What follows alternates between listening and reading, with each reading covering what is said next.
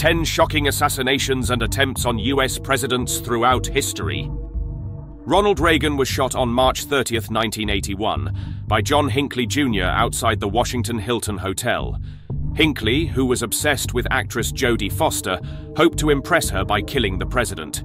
He fired six shots, one of which hit Reagan in the chest, narrowly missing his heart. Reagan underwent emergency surgery and made a full recovery. Hinckley was found not guilty by reason of insanity and was confined to a psychiatric facility until his release in 2016 under strict conditions. Robert F. Kennedy, a U.S. Senator and former Attorney General, was assassinated on June 5, 1968, in Los Angeles, California. Kennedy was shot by Sirhan Sirhan shortly after delivering a victory speech for winning the California Democratic primary for the 1968 presidential election. He died the following day, on June 6, 1968. Sirhan assassinated Kennedy primarily due to his strong opposition to Kennedy's pro-Israel stance and his support for U.S. military aid to Israel. Sirhan was initially sentenced to death, but his sentence was commuted to life imprisonment in 1972. Andrew Jackson faced an assassination attempt on January 30, 1835, by Richard Lawrence in Washington, D.C. Lawrence approached Jackson with two pistols, both of which misfired. Jackson, known for his fiery temper, attacked Lawrence with his cane before others intervened. Lawrence was found not guilty by reason of insanity and spent the remainder of his life in mental institutions. James A. Garfield was shot by Charles J. Guiteau on July 2, 1881, at the Baltimore and Potomac Railroad Station in Washington, D.C. Guiteau, a disgruntled office seeker, believed that killing Garfield would help unite the Republican Party and ensure his own political appointment. Garfield suffered for weeks from his wounds, ultimately dying on September 19, 1881, due to infections. Guiteau was arrested and later executed by hanging. Franklin D. Roosevelt survived an assassination attempt on February 15, 1933, by Giuseppe Zangara in Miami, Florida. Zangara fired multiple shots at Roosevelt, who was giving a speech from his car, he was driven by a deep-seated hatred for politicians and a belief that they were responsible for the economic hardships he endured.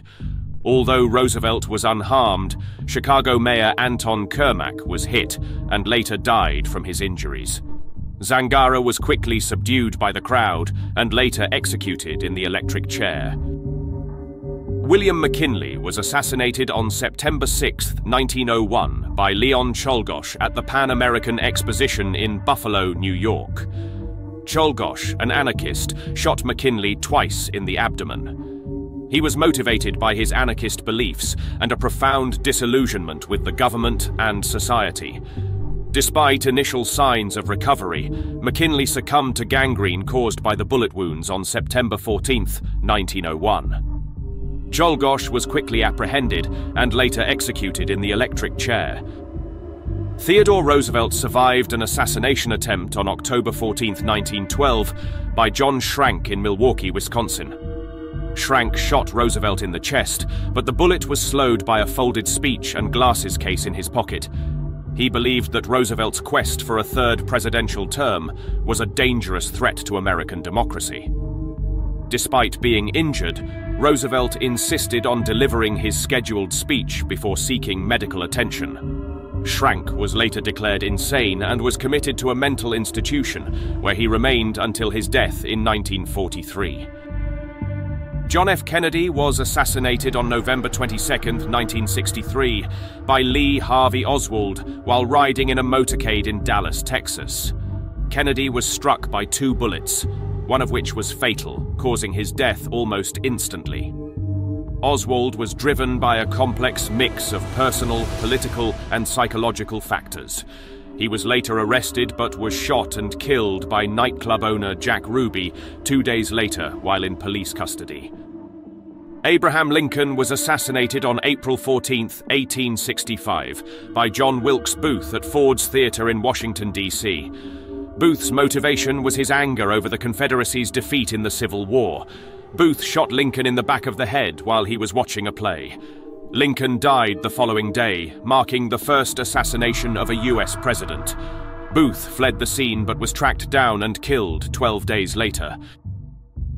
On July 13, 2024, former President Donald Trump was the target of an assassination attempt while addressing a campaign rally in Butler, Pennsylvania. The assailant, Thomas Matthew Crooks, fired eight rounds from an AR 15 style rifle from a nearby rooftop. Trump was hit in the upper right ear and sustained injuries, while one audience member was killed and two others critically injured. The Secret Service's counter sniper team neutralized Crooks moments after the attack. The incident is being investigated as both an attempted assassination and a potential act of domestic terrorism, Trump, after receiving medical attention, was released in stable condition and appeared at the Republican National Convention two days later, emphasizing the resilience of his campaign and the urgency of addressing political violence in the country.